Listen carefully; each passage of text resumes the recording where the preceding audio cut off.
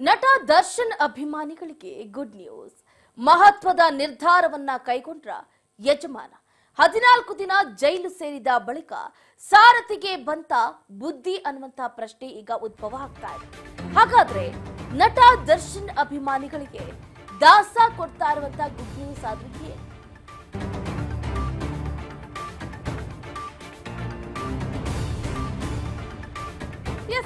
ದಚ್ಚು ಫ್ಯಾನ್ಸ್ಗೆ ಈಗ good news ಸಿಗ್ತಾ ಇದೆ.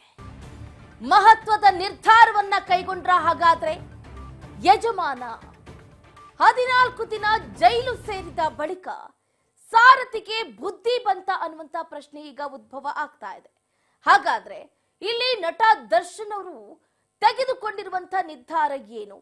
ಆ ನಿರ್ಧಾರದಿಂದ ದರ್ಶನ್ ಅಭಿಮಾನಿಗಳಿಗೆ ಹೇಗೆ ಗುಡ್ ನ್ಯೂಸ್ ಸಿಗ್ತಾ ಇದೆ ಹಾಗಾದ್ರೆ? ಎಸ್ ಶೆಡ್ನಲ್ಲಿ ಪ್ರೇಯಸಿಗಾಗಿ ಪ್ರತಾಪವನ್ನ ತೋರಿದ ದಾಸ ಈಗ. ಎಲ್ಲ ಒಂದು ಕಡೆ ಸೈಲೆಂಟ್ ಆದ್ರ ಬುದ್ಧಿ ಕಲತ್ರ ಅನ್ನುವಂಥ ಸುದ್ದಿ ಕೇಳಿ ಬರ್ತಾ ಇದೆ. ದರ್ಶನ್ ಜೈಲಿಗೆ ಹೋದ್ಮೇಲೆ ಪಶ್ಚಾತ್ತಾಪವನ್ನ ಪಡ್ತಾ ಇದ್ದಾರಂತೆ. ಪವಿತ್ರಾಳಿಂದ ಜೈಲು ಸೇರುವಂತಾಯ್ತು. ಅವಳ ಸಹವಾಸವೇ ಬೇಡವೇ ಬೇಡಪ್ಪ ಅಂತ.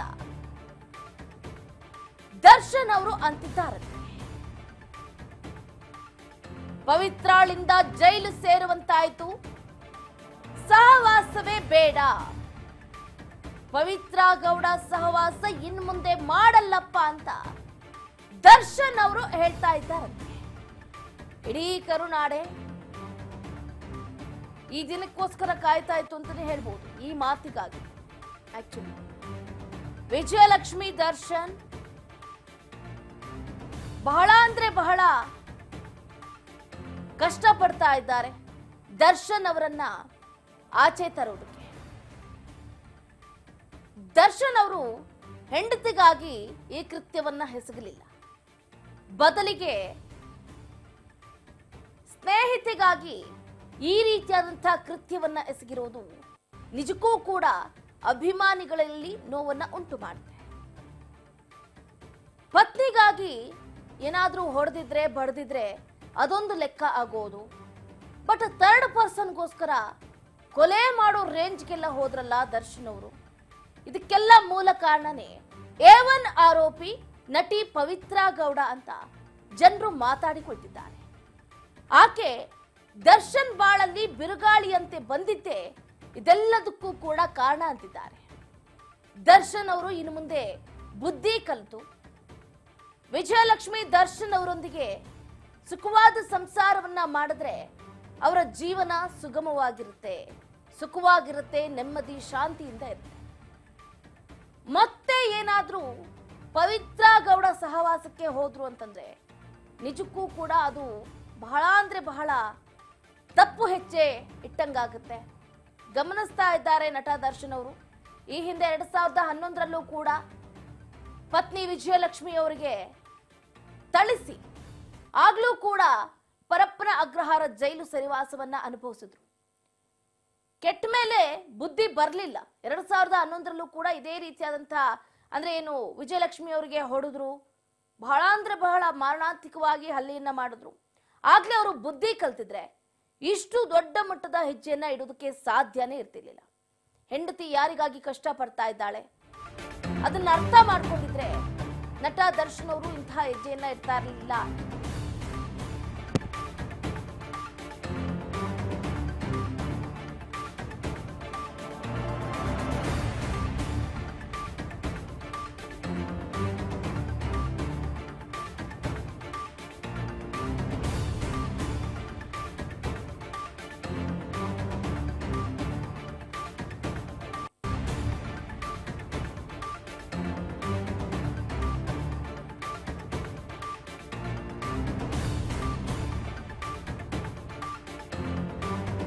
ಮತ್ತೊಂದು ಕಡೆ ನಟ ದರ್ಶನ್ ನ್ಯಾಯಾಂಗ ಬಂಧನ ಇವತ್ತಿಗೆ ಅಂತ್ಯ ಆಗ್ತಾ ಇದೆ.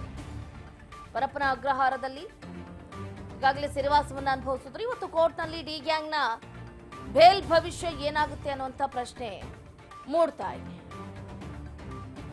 ಇದೆಲ್ಲದರ ಮಧ್ಯೆ ರೇಣುಕಾ ಸ್ವಾಮಿ ತಂದೆ ವಿರುದ್ಧ ನಟಿಯರು ಕೂಡ ಗರಂ ಆಗ್ತಾ ಇದ್ದಾರೆ. ಎಂತಹದ್ದೇ ಕಷ್ಟ ಬಂದರೂ ಕೂಡ ಇತ್ತ ದರ್ಶನ್ ಅವರ ಪತ್ನಿ ವಿಜಯಲಕ್ಷ್ಮಿಯವರು ಜೊತೆಯಲ್ಲೇ ಇರ್ತೀನಿ ಅನ್ನುವಂಥ ಭರವಸೆಯನ್ನ ಮೂಡಿಸ್ತಾ ಇದ್ದಾರೆ. ಇತ್ತ ಪವಿತ್ರಾರು ಬೇಡ, ಯಾರೂ ಬೇಡ, ಹೆಂಡತಿ ಮಕ್ಕಳು ಜೊತೆ ಇರ್ತೀನಿ ಅಂತ ದರ್ಶನ್ ಅವರು ಹೇಳ್ತಿದ್ದಾರೆ. ಒಂದು ಕಡೆ ಟು ಬಿ ಕಂಟಿನ್ಯೂಡ್ ಅನ್ನೋ ಹಾಗೆ ಆಗ್ತಾ ಇದೆ. ಯಾಕಂತಂದ್ರೆ ಈಗ ಪರಪ್ಪನ ಅಗ್ರಹಾರದಲ್ಲಿ ನಟ ದರ್ಶನ್ ಅಂಡ್ ಗ್ಯಾಂಗ್ ಇದೆ. ಅದೆಲ್ಲದಕ್ಕೂ ಮೂಲ ಕಾರಣ ಪವಿತ್ರ ಗೌಡ ಅನ್ನೋದು ಕೂಡ ಗೊತ್ತಾಗ್ತಾ ಇದೆ. ಆಕೆಯಿಂದ ದರ್ಶನ್ ಅವರು ದೂರ ಆದ್ರೆ ಸಾಕಪ್ಪ ಅಂತ ಸ್ವತಃ ದರ್ಶನ್ ಅಭಿಮಾನಿಗಳೇ ಪ್ರಾರ್ಥನೆಯನ್ನ ಮಾಡ್ತಿದ್ದಾರೆ.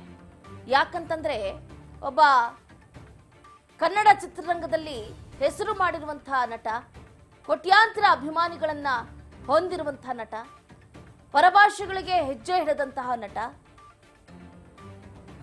ಬಹಳ ಅಂದ್ರೆ ಬಹಳ ಸಮಾಜ ಸೇವೆಗಳನ್ನು ಕೂಡ ಮಾಡಿದ್ದಾರೆ ನಟ ದರ್ಶನ್ ಅವರು. ಇಲ್ಲ ಅನ್ಲಿಕ್ಕೆ ಸಾಧ್ಯನೇ ಇಲ್ಲ. ಬಟ್ ನಟ ದರ್ಶನ್ ಅವರು ಬಹಳ ಅಂದ್ರೆ ಬಹಳ ಉನ್ನತ ಕೆಲಸಗಳನ್ನು ಕೂಡ ಮಾಡಿದ್ದಾರೆ ದರ್ಶನ್ ಅವರು. ಬಟ್ ಉನ್ನತ ಕೆಲಸ ಮಾಡಿ ಉತ್ತಮ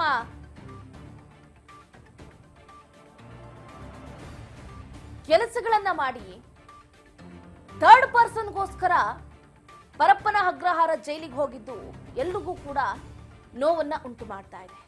ಆದಷ್ಟು ಬೇಗ ನಟ ದರ್ಶನ್ ಅವರು ರಿಲೀಸ್ ಆಗ್ಲಿ ಅಂತಾನೂ ಕೂಡ ಅಭಿಮಾನಿಗಳು ದೇವರಲ್ಲಿ ಪ್ರಾರ್ಥನೆಯನ್ನ ಮಾಡ್ತಾ ಇದ್ದಾರೆ. ಎಲ್ಲರೂ ಕೇಳ್ತಾ ಇರೋದು ಒಂದೇ. ದರ್ಶನ್ ಅವರು ಪವಿತ್ರ ಗೌಡ ಸಹವಾಸವನ್ನ ಬಿಟ್ಬಿಟ್ರೆ ಸಾಕಪ್ಪ.